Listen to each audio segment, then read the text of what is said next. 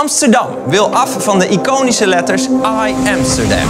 I Amsterdam sign has been removed. I'm a bit confused. I didn't know there was anything wrong with it. It's just gone. On December the 3rd, 2018, a beloved European landmark has been removed once and for all. I would like people to reconsider it and put it back.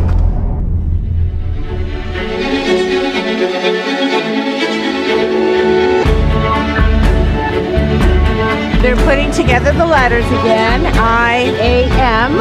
Is it coming back? Nice surprise to see the letters coming in.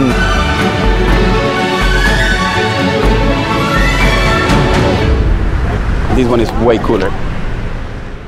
Far from our beds, a landmark vital to our survival is about to be gone too. The Amazon rainforest is under attack again by land grabbers and a greedy logging, mining, and agriculture industry.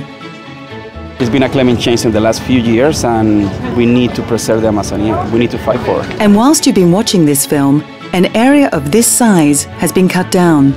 With every tree they chop, we get closer to a point of no return.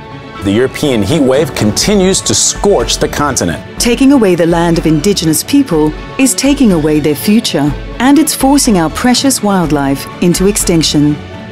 So I think it's a, a wonderful idea and uh, a terrific cause. We moeten zuinig op zijn. Dus ik vind het heel goed dat Greenpeace hier aandacht aan geeft. Amazônia é o pulmão da, do mundo, significa isso. If we lose the forest now, we lose the fight against climate change forever. You are the very last generation to save the Amazon rainforest. Act now